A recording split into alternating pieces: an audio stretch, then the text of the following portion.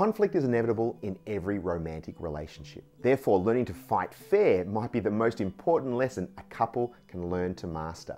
For example, comments like, You're just like your mother, or You never do anything right, should be avoided at all cost. On the other hand, healthy conflict centers on the problem. For example, it frustrates me when you don't call me to say that you're going to be home late for dinner. Or you embarrassed me last night when you made fun of me at the party. Can you hear the difference? Both can be as emotionally charged, but focusing on the problem rather than the person is far more effective. For more healthy relationship advice, go to our website at families.org.au and see you next Monday.